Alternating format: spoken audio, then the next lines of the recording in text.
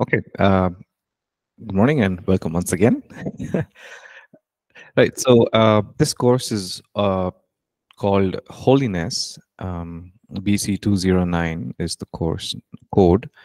Um, this course was started approximately uh, two years ago, um, like two semesters. Yeah, two years ago in 2022. It's when it was started, um, and the origins of the course, uh, this course, and why it was started by Pastor Ashish was uh, so. Uh, there was a leaders conference and a pastors conference that was happening, uh, which was hosted by another ministry, and uh, there came and it was for leaders and pastors, uh, very specifically, um, and and so there were a lot of questions regarding holiness, how to live a holy life, um, how do I overcome temptations, challenges, um, repentance was a huge question that that was a recurring question, right? Um, and so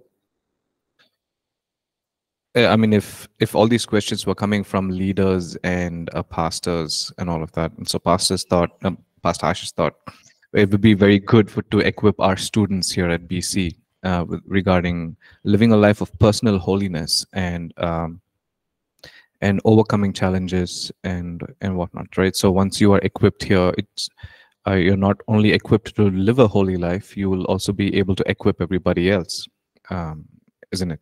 So, um, hence that's the uh, origin of this uh, uh, course. Um, I hope you uh, you all here in the class have your hard copies, um, and uh, online. I hope you were able to download the PDFs, and save it. Okay. Um, so there are four primary documents. Um, one is just a course overview, and one is the document called Holiness, and uh, part one and part two of repentance, and then and the last document is overcoming uh, temptations, etc. Okay. All right. All good. So should we get started? Yeah. Yeah. What? What? Oh yes. Okay. Yeah. Let's pray and submit. Um, Father, we submit uh, this course into your hands, um, Lord. Our our minds, Lord, we surrender it all to you, uh, Lord. Uh, you are our teacher. We humble ourselves before you.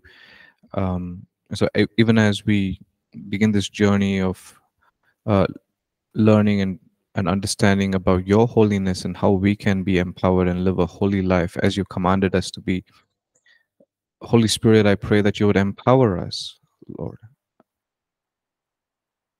and help us understand uh, your word. Breathe your breath over your word, I pray. In Jesus' name, Amen. Okay. Okay. So uh, this the subject, uh, this topic, I should say, in many ways, is also very special um, to me. When I say special, is uh, um, one of my early encounters with the Lord. What I remember was um, when I was in sixth standard, I think sixth standard. Uh, is I remember having breakfast, getting ready to go to school with, uh, you know, just before middle school, you it was just those half pants, uh, you know, and um, and back then uh, there was this uh, channel called uh, I think it was not, we didn't have God TV back then. Uh, it was something called TBN and uh, TBN Network, a Miracle Network, something if you, you remember. Okay, uh, we will remember. yeah. So um, and at eight o'clock from eight to eight a.m. to eight thirty was uh, Benny Hinn's program would be telecasted on TV, and uh, so I was having my breakfast uh, with my uniform, and you know, and uh, just watching this program, this starting, and uh, his crusade starting, and then there was this worship leader called uh, Terry MacAlmon. Um, powerful, beautiful worship leader. He's the one who wrote "You Deserve the Glory."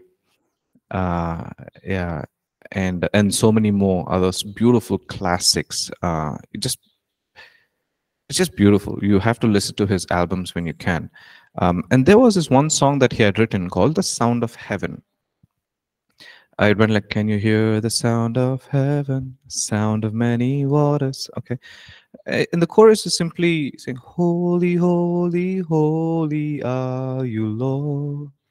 Holy, holy, holy are you, Lord.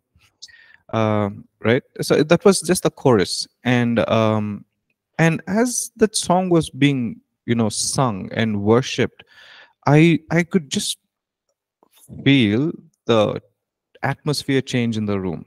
It, the, the something tangible, and now at this age i can use the words like atmosphere and tangible and whatnot. Back then i didn't know what was happening. I couldn't understand or fathom what was happening but I, all i knew was that moment was very holy that's all i knew. That that moment was very holy. Uh, my physical man i felt like i'm sitting and having my breakfast but then my spirit man was like you know humbled and you know was bowing down. I knew that and it it was, my spirit was immediately responding to the worship that was happening and responding to the presence that was there. Um, and all i knew was okay what's happening? That was my question and i knew there was something holy in that moment. And uh, and that is really the beginning of my first encounter with the holiness of god is trying to understand and you know much later with all the other experiences and teachings and other encounters uh, I, I can now understand okay what that was back then right? And then moving on i've i've been privileged to have people in my life who've emphasized uh, holiness? Uh, holiness not just in the sense of purity which we will learn in just a bit um, but emphasizing on the holiness of god. And this is something that you can't grasp or fathom immediately. And you, you can never uh, it's uh, we are talking about an eternal being. Even those two words eternal being i know it kind of makes sense in english but we can't fathom it because we don't know what eternity is. You know uh, you're sure you can go to dictionary and look for the word eternity and it might give us certain things and it, even then it would i'm not sure it would be satisfactory uh, so to speak. So when we and i was very privileged to have a worship pastor who emphasized on the holiness of god back then uh, with the word of god and uh, other mentors and people in my life who who would just pursue uh, you know holiness so that uh, you know they could uh, um, yeah something about it. Yeah and then there was this one season i'm sorry i'm just sharing my personal uh, experiences and you know where i can bring it and align with the course that we are on.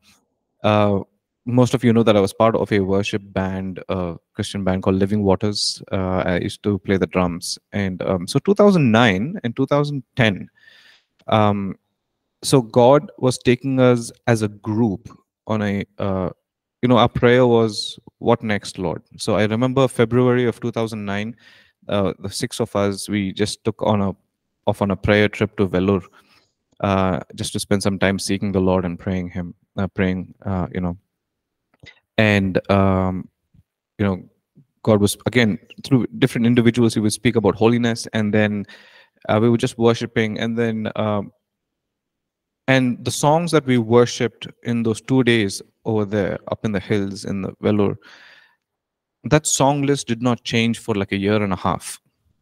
Everywhere we went to lead worship, it was about I enter the holy of holies, take me past the outer courts. Um, you know, it's it was all about pursuing his presence, going into his presence, not being satisfied in the outer courts. Um, and so that way the journey has been um, I should say I was very privileged uh, to have that journey with the other people that I know of. Very honored and um, and so this hence the topic is is is very special. Um, it, you know that not because I know everything about it. I don't think I'll ever know everything about it, but um, something about this topic draws me to him.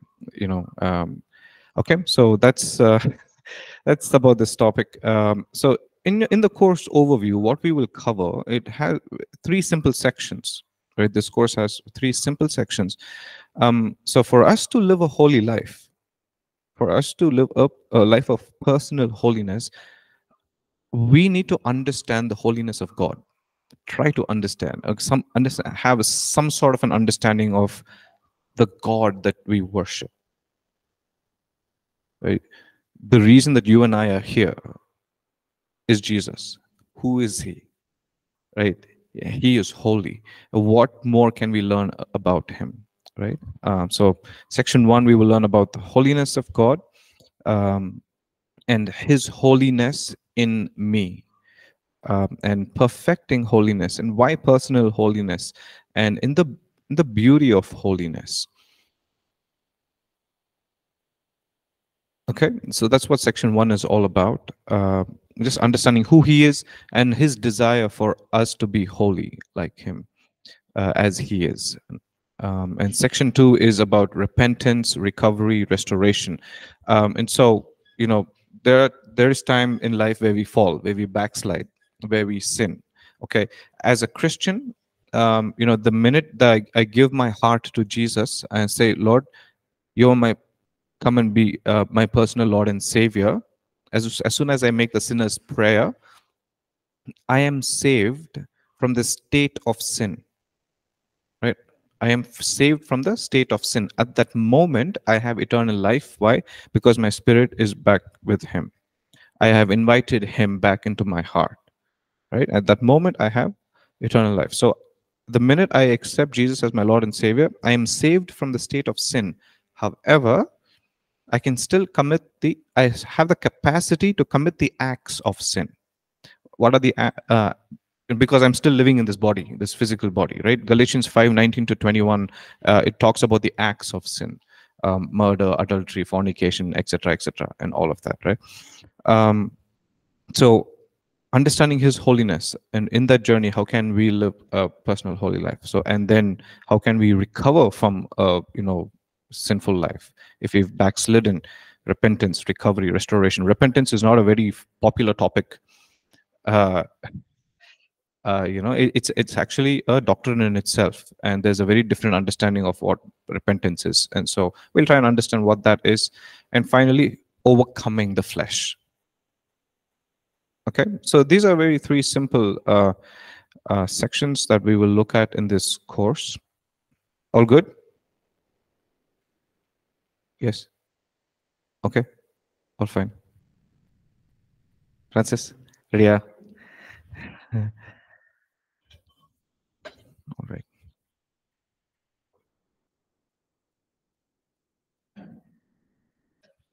Okay. Let's look at the introduction.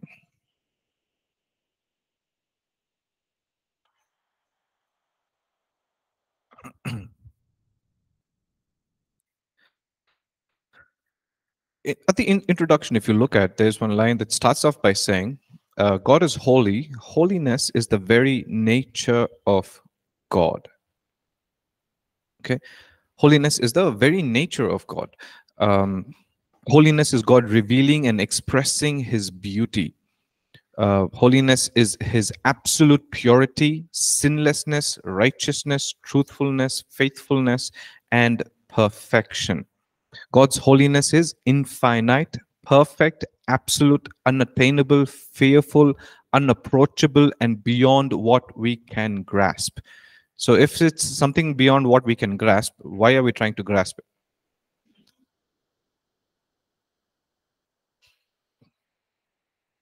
Right? So in the journey, we can find something, isn't it? Um, right. Yeah, sorry, you were saying something, Nino. Okay. Right? Our words can never sufficiently describe his holiness. Then why are we trying to describe it with our words? Okay. It's something that words cannot define and describe his um, it enough. So here's the thing, right? Um, okay, let's um, let's do this. Um, holiness. What is your understanding of holiness? You can pass the mic on, and then yeah. Set apartness. Okay. Set apart is like purified without sin Purified without sin. All right. Thank you, Francis. Um, pure, Pure. Okay. Pure, purified, without sin. unimaginable uh, pureness and that what we that what we discussed here that Mhm. we can't grasp we couldn't even uh, explain in our words Okay. So, um, very quickly, um, yeah, great. Then let's leave aside the holiness of God for a minute, and let's just say, uh, what do you understand by holiness? Yeah, yeah. When you hear the word, not just for you, but when you hear the word holiness, what does it stand for? What does inner- it mean for inner you? purity Inner purity. Okay. Uh, anyone online? Uh, While we pass the mic back to Sri Radha. Okay. Uh, okay. like, uh, sinless, spotless, pure Yeah. completely. Okay. All right. Sinless, spotless, pure. Okay. Sinless, spotless, inner purity. Okay. All right. Uh, those online and anyone want to share anything? Being set apart by God for God. Okay. Everything is right, guys. I, I think we're going to finish this course in a one month's time or something. You know, like uh, you all, you all don't need any teaching on this. Well, no assessments, nothing.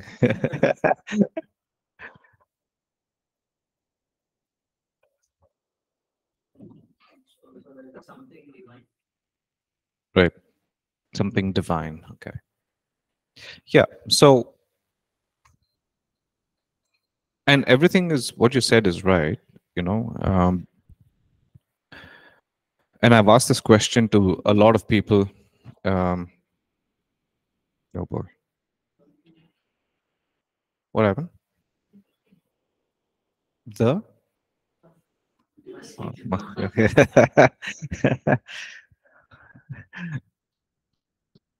yeah. Um, so I've asked this question to a lot of young people, a lot of people um, on the same thing. Okay, what does holiness mean to you, etc. And the response has always been the same, if not similar. Um, it's and and most of it, uh, except for um, responses like set apart and whatnot, it, it is it, it points towards this thing called moral purity moral purity or righteousness. Like like you said sinlessness and spotless right? So holiness is okay if i don't commit murder if i don't commit adultery if i don't commit uh, if i don't steal anything um, if i don't watch uh, any um, movies that i'm not supposed to be watching uh, if i don't do uh, uh, the acts of sin that doesn't defile my body um, if i'm if i'm not jealous if i'm not greedy if i'm not you know i'm if i'm not a glutton you know, gluttony is a sin you know um so all of that those are all the acts of sin sinlessness right? That's so uh which is it's all fine absolutely. Isn't then that's our understanding of it. Um okay and uh, nina has just mentioned something in the chat. Being whole no conflict between the inside and the outside yes okay and for a long time that was also my understanding because again i was raised in a pentecostal family right? Uh, and and uh, yeah and going to a pentecostal church and whatnot you, you can imagine the um, um i'm i'm i'm not sure how many of you uh, were raised in a ipc or tpm kind of a thing. Um beard sin. Piercing bad boy. Um right long hair. Oh, you're crucified you know? Uh jewelry will stone you. Um you know that was the kind real literally that was uh and then white and white holy.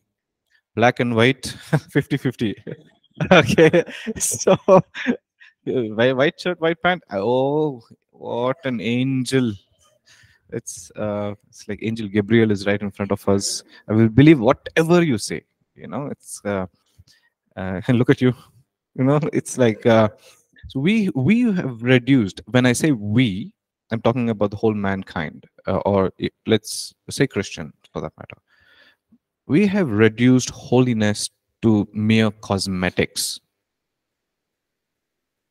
Cosmetics, cosmetics, like makeup, like basically, you know, out, outward things. So, um, I, I understand the outward appearance is the reflection of the inward, uh, you know, thing and all of that, but but I, I I don't think Jesus died on the cross so that you and I can have a dress code.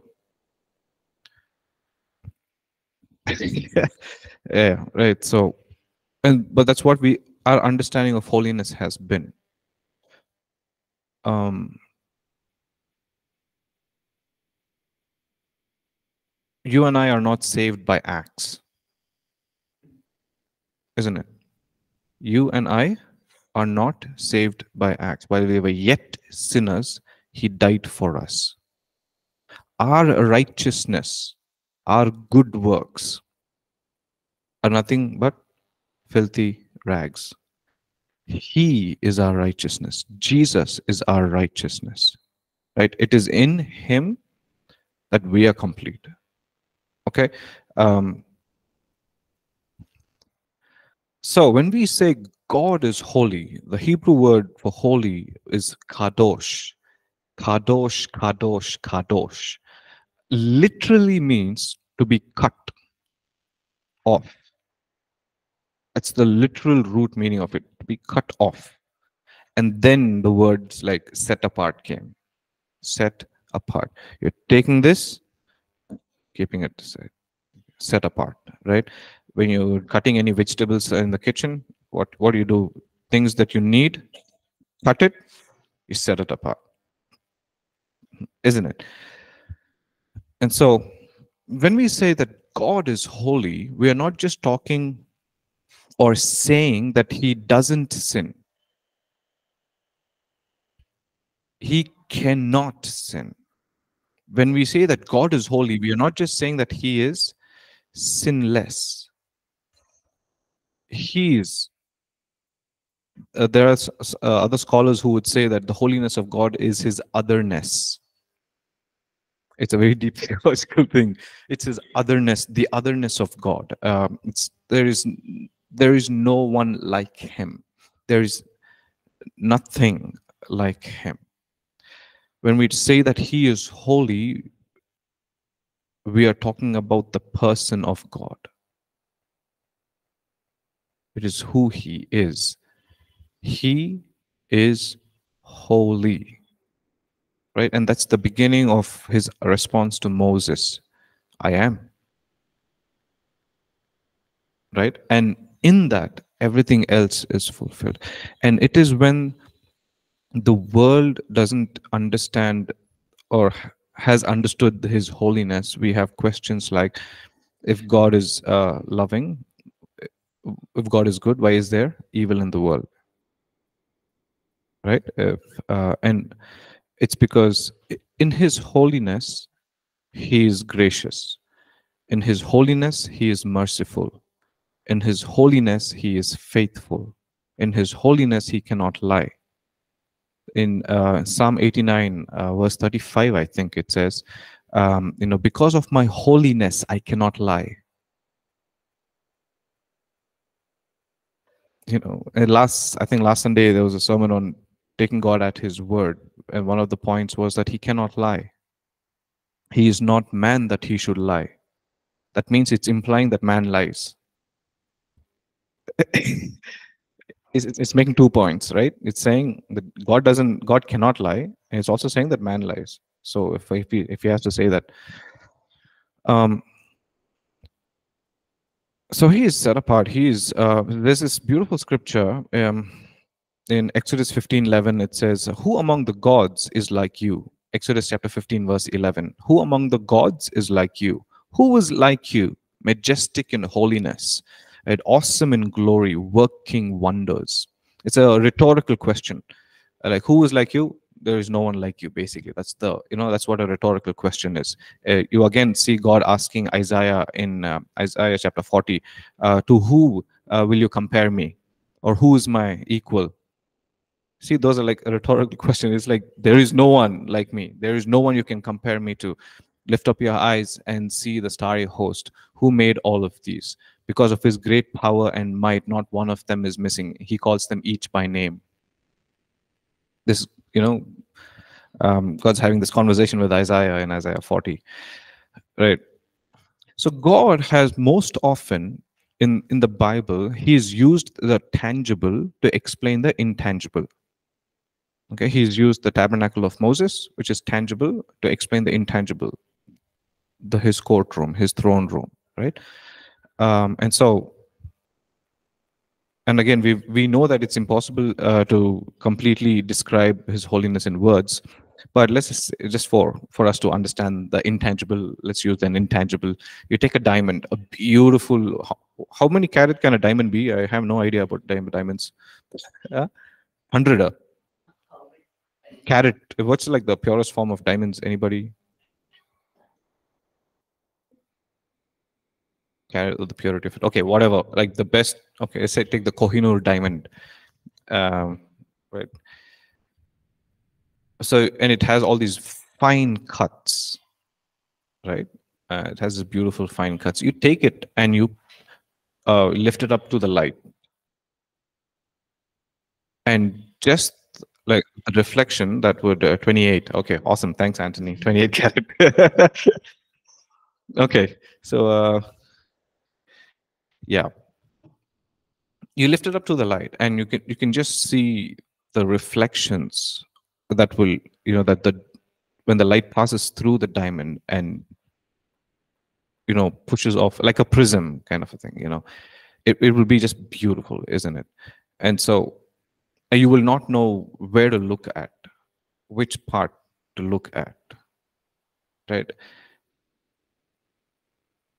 and explaining his holiness is something like that okay? It's and that's the reason why the angels have been singing holy holy holy for the ages right? Every time they move they get a perspective and they they can't say anything else but say okay he is holy he is holy he is holy.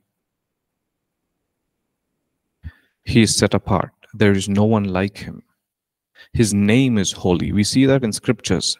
Scripture after scriptures. I can give you a lot of scriptures where it says that he is jealous for his name right? And he says okay uh, they did not honor my holy name. They did not honor my holy name. They did not honor my holy name. My name is holy. My name is holy. Holy is my name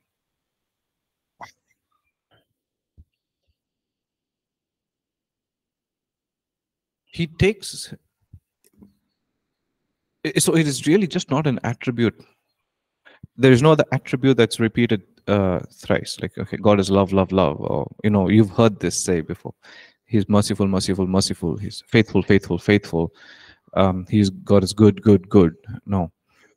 Um but he's holy holy holy is simply to say it's like uh, in song of songs there's like you're fairer than 10000 to my soul. Right? It was so that number was the maximum in those days. Right? it's basically saying there is no one like you. You're the fairest of 10000 fairest of 10000 so when we say that god is beautiful we are again just saying that he is holy. Worship the lord in the beauty of his holiness. Right? When we say that are you following what i'm saying? Yes yes no maybe okay um this is really my desire is that our desire and you know the, the intention of this course is that that we encounter his holiness uh, there's a, a couple of book uh, books that I would recommend. I'll recommend it to you guys. Uh, this one is the one book is called uh, "Holiness of God" by R.C. Sproul. He, uh, "Holiness of God" by R.C. Sproul, and uh, "The Pursuit of Holiness" by uh, Jerry Bridges. They- They're all you know worth reading. And it's powerful and have had a huge impact on on me. R.C. Sproul, S P R O U L. Um, it's the book is just called The Holiness of God, and the other book is The Pursuit of Holiness by Jerry Bridges. Okay.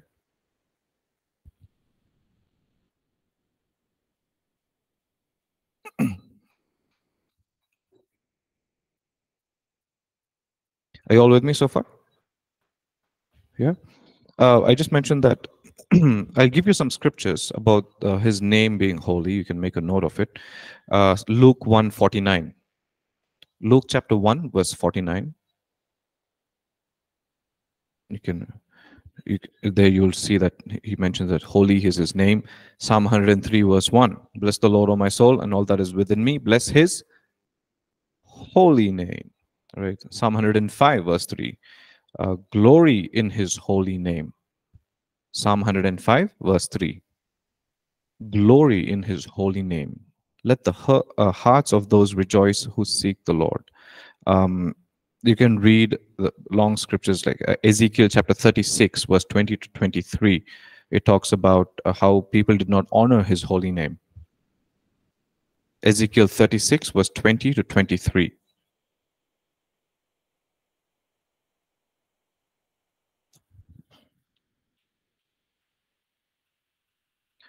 Okay. Uh, one more scripture I'd like to read for us is in, is in the book of Ezekiel, chapter 43, verse 7. Ezekiel 43, 7. Okay.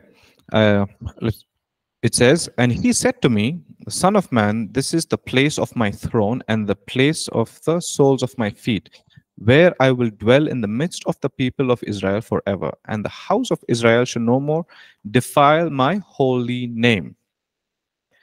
The house of Israel shall no more defile my holy name, neither they nor their kings, nor by their whoring and by their dead bodies of their kings at their high places. Okay, that's from the ESV version. So he's saying, I will dwell in the midst of the people of Israel forever, and they shall not defile my holy name. So God will dwell where his name is not defiled.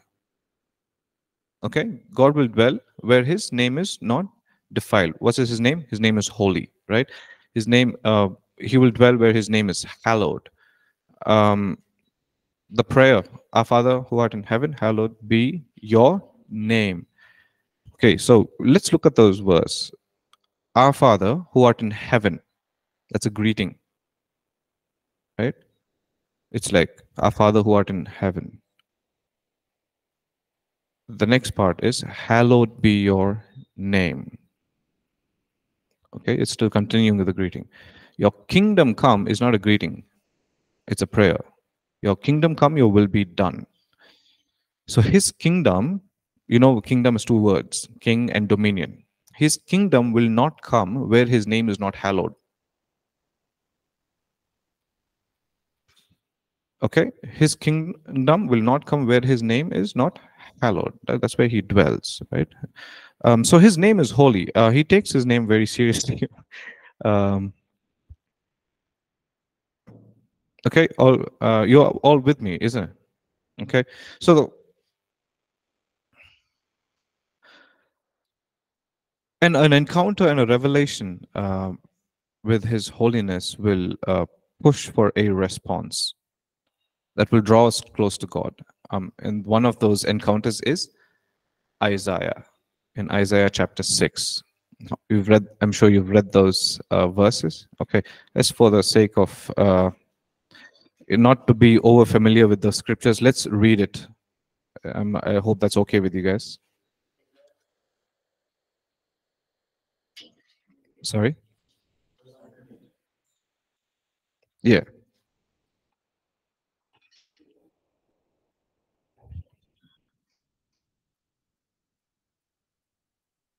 Okay, it says it begins by saying, "In the year the king that King Uzziah died, I saw the Lord seated on the throne, high and exalted, um, and the train of his robe filled the temple."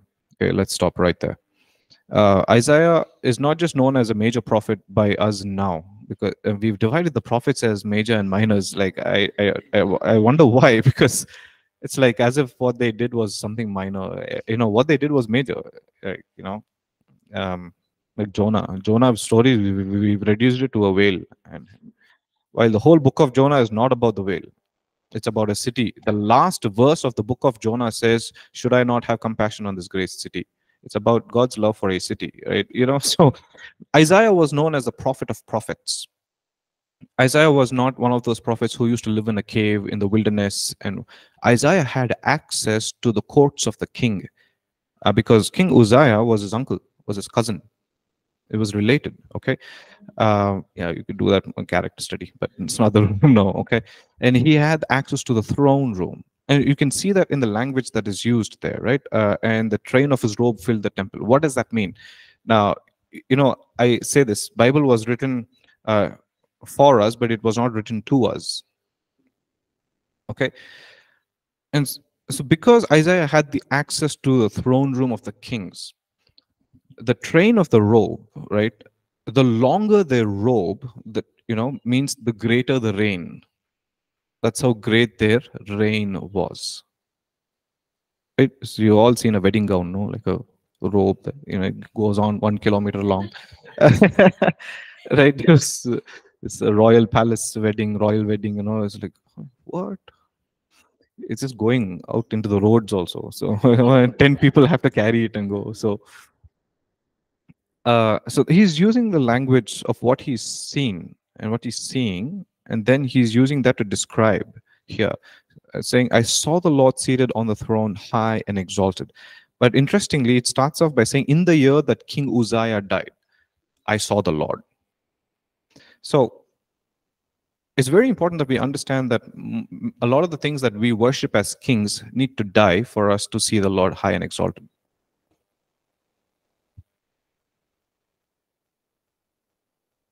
A lot of the things in our lives that we worship as kings, we've given the place of gods to things and people, and we worship them as kings.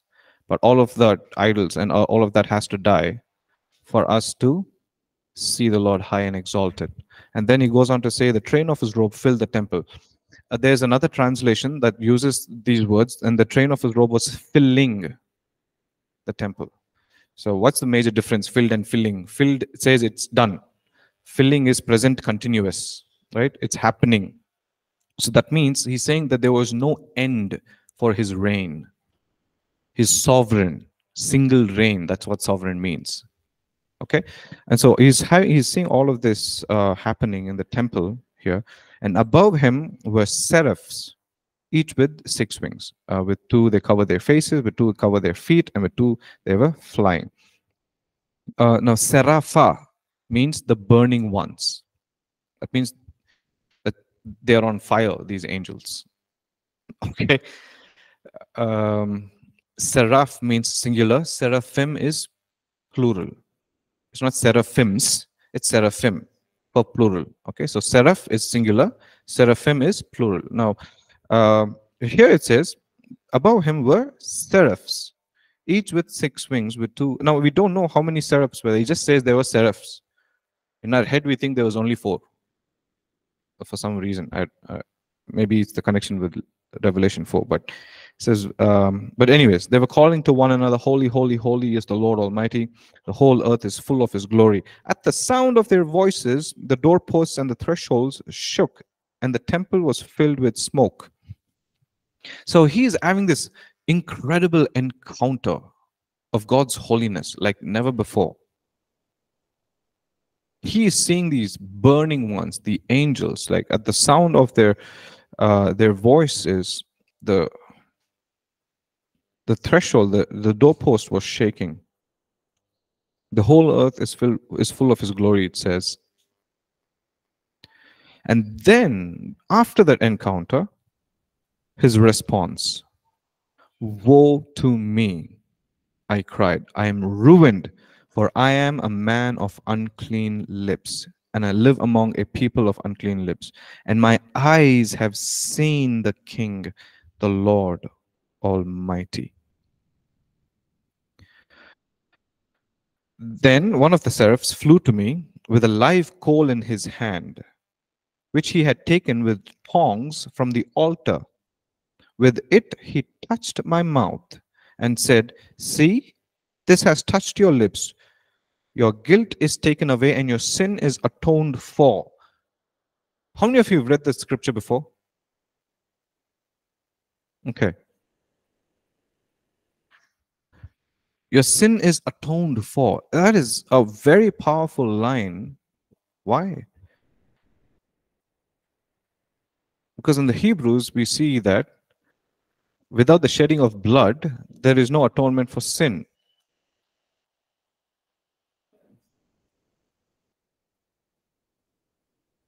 Jesus Christ, the Lamb that was slain before the foundations of the world.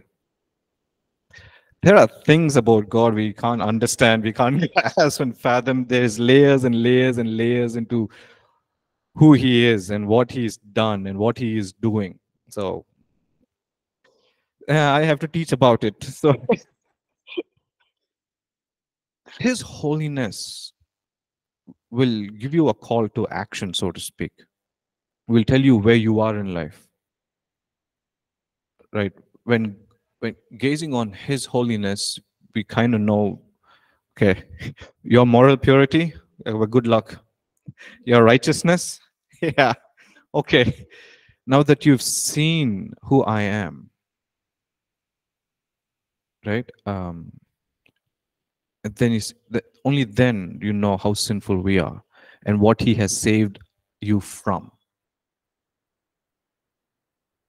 Understood, right? Okay, let's move. Uh,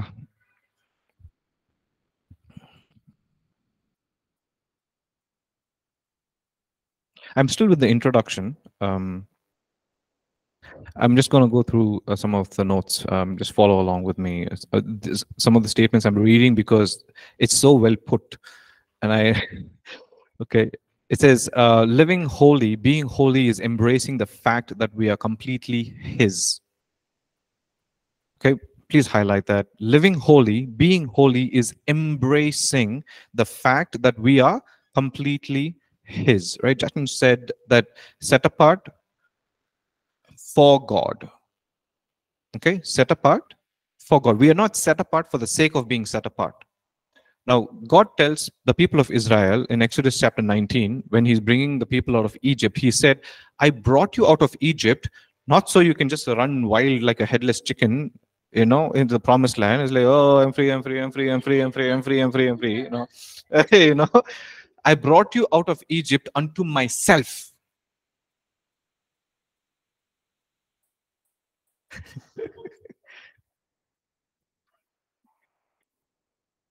Okay, so living holy, being holy is embracing the fact that we are completely His. We belong to Him. Every part of me belongs to the most holy one.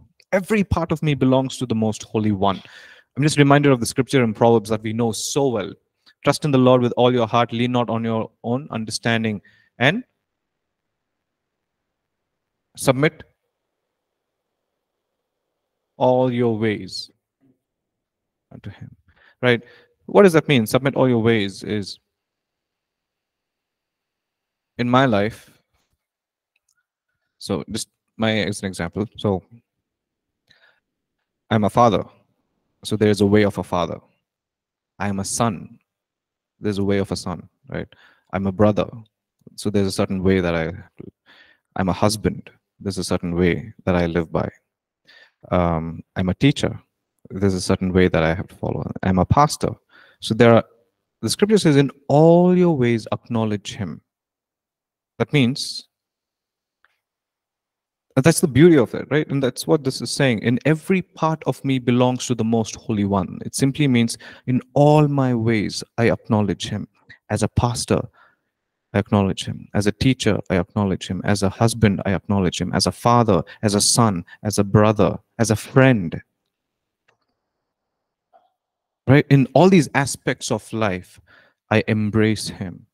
Right? Where i say every part of me belongs to you lord. Okay? And i'll close the session with one last scripture in first peter 1 16 be holy for i am holy again that uh, you know for for many times I've heard people read that scripture as be holy as I am holy. Be holy as I am holy is saying that, okay, Yeah, he says, Be holy, for I am holy. Okay. Um, because you are my people. You are my chosen generation, a holy nation, a royal priesthood. We have no choice. Okay, so more about this. We'll continue learning about the holiness of God uh, in chapter one. Uh, we just finished the introduction, so let's uh, see how that goes. All right, we'll uh, stop for now and we'll continue. Thank you.